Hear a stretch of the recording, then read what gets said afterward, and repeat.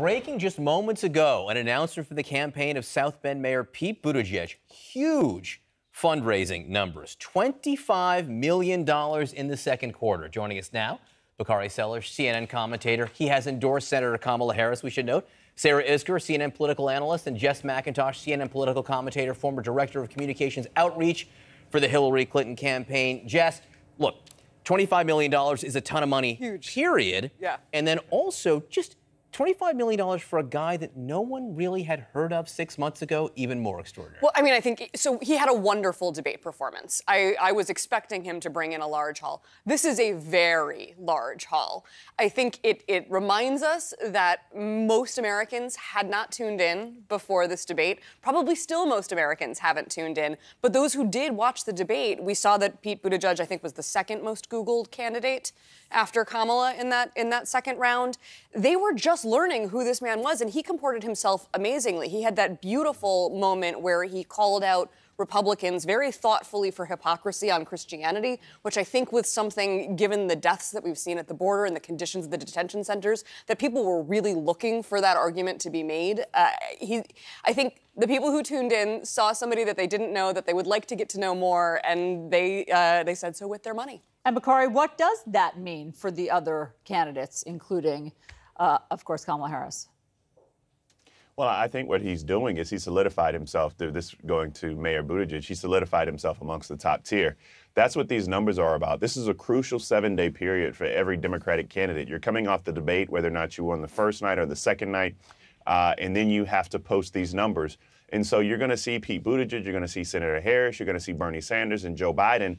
Uh, that is going to be a very solid uh, top tier. The questions remain about the money that will be put up by people like Cory Booker or Elizabeth Warren, uh, as well as Julian Castro. I mean, that is going to be the question. Uh, Beto O'Rourke once was a part of this conversation. I don't think his his debate performance was was awesome by any measure, and I also don't think he's going to put up a big number in terms of fundraising.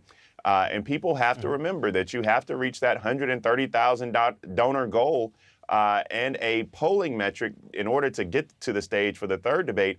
And there are a lot of very well known figures who are falling short of that today. A couple metrics. Uh, Senator Kamala Harris, we were told, raised $2 million In the just 24 hours after, after the debate, Yeah, yeah. after the debate, just after the debate. So she, her fundraising numbers will probably be, be pretty big a- as well. And Pete Buttigieg, Sarah, we understand, has $22 million cash on hand. He's got a lot of money to spend. and in a way, Sarah, this is just sort of saying, go ahead, Bakari, you're laughing. No, I was laughing because I was just going to say that that I, I love Senator Harris, but her number ain't going to be twenty five million dollars. Yeah. I mean, Pete Buttigieg put up an awesome number, Yep. uh, and it needs to be, and we need to recognize that. I think the only person who's going to outrace him will probably be Joe Biden, and we all know Bernie Sanders in the Our Revolution movement. They just print money over there anyway. Right. It's, and Sarah, what I was suggesting is this is a sign he, he's here to stay. He is here to stay and he will, a force to be reckoned with. He did spend some time raising money. This didn't just happen magically. I mean, he put his shoulder into this. But again, this is a message, I think, to the other candidates. Absolutely. First of all, you're exactly right. He now is done meeting debate metrics pretty much at this point. He will now be guaranteed a place on the debate stage from this point forward, is my guess. But what I found stunning is when you're a senator, a governor, you have a fundraising apparatus that you have built over time, donor lists that you've built over time. You're the mayor of South Bend. You don't have any of that going into this race. It takes money to raise money, it takes an apparatus, it takes time often.